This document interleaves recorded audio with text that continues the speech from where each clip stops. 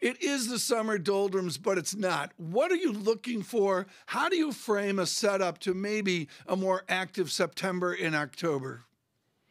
I think, you know, we, we have to get away from being driven just by the Fed taper story. Um, so, you know, the, the, the other currents will take over. I, will be interested almost what's happening outside the United States, uh, only in the sense that things change if other parts of the world start to see recovery.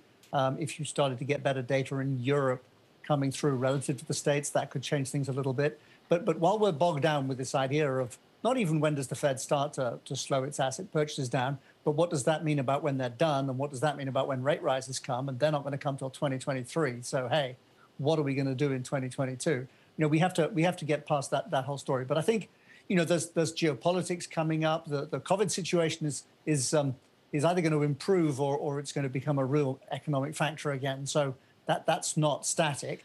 Um, and um, you know, the, the range of forecasts for Friday's payroll numbers mm-hmm. over on your side of the, of, of the pond is huge. Right. So well, we, we, will get surprised by this. We, ha- we don't have a handle on the pace of job creation, really. We just guess. Kit, taking a step back, it seems like the market is saying that the taper is a non event. Is that what we're seeing? That basically Fed Chair Jay Powell has successfully made tapering the $120 billion of monthly bond purchases an entirely non event for markets?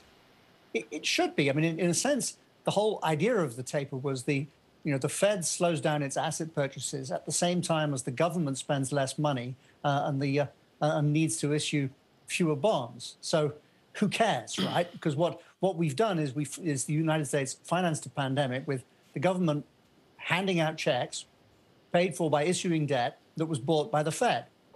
Just unwind the process. Just stop paying out checks and stop stop buying the bonds, and then and then we can get back to discussing important stuff, which is did all these checks create savings? Did all these cre- checks create demand? Did all these checks create inflation somewhere out there with all these bottlenecks and things like that? And and I think that's what we're going to find out. But the focus is on ca- can can the U.S. government have spent this much money uh, getting the economy to recover this fast from the pandemic um, without without some inflation that's stickier uh, than um, than, than the Fed's going to feel comfortable with. And we're, we're going to find that out over the next six months in a big way, I think.